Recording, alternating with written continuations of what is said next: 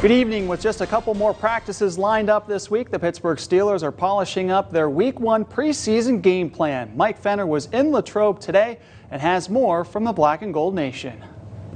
For the first time this preseason, the Steelers will get to pop the pads against an opponent when Seattle comes to town on Saturday night. Don't let the moment, you know, overtake what you're here to do, and that's that's to play football.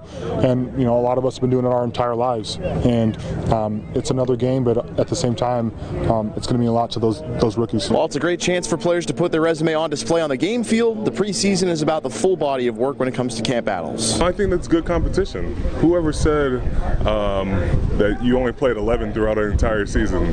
Um, you got to have a lot of different guys and moving parts.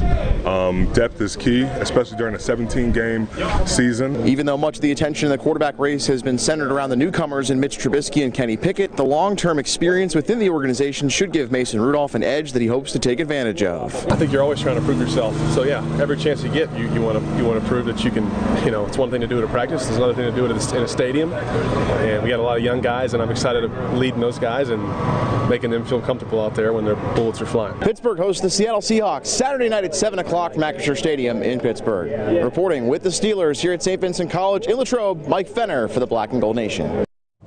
Thanks, Mike. And you can see that preseason matchup right here on Fox 66 beginning at 7 p.m. Should be interesting to watch how teams handle their star players and how long they'll play in just three preseason games leading up to the regular season next month. Meanwhile, on our sister station, Jet 24, we will be carrying the preseason game between the Indianapolis Colts and the Buffalo Bills. You can see that contest from Highmark Stadium beginning at 4 p.m.